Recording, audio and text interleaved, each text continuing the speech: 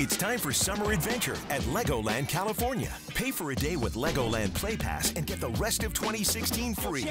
You could win a family four pack of Legoland Play Passes. Just watch the KTLA 5 News at 10 all this week for your chance to win.